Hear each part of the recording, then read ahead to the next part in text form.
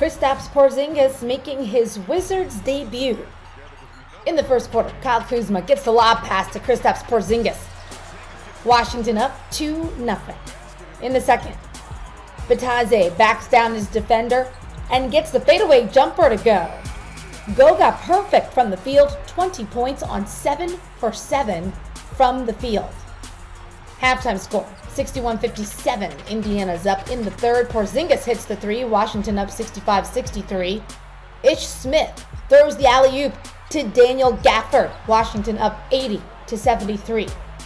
Thomas Satoransky drives and dunks. Two hands for safety. Washington up 101 93.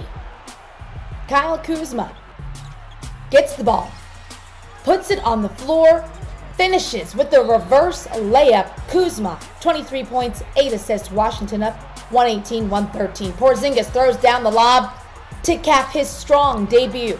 Porzingis ends up with 25 points in only 21 minutes of play. Washington wins. Final score Indiana Pacers 123, Washington Wizards 133.